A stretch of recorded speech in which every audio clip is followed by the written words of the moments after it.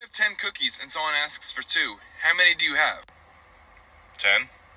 Okay, what if someone forcefully takes two cookies? Then what do you have? Ten and a dead body.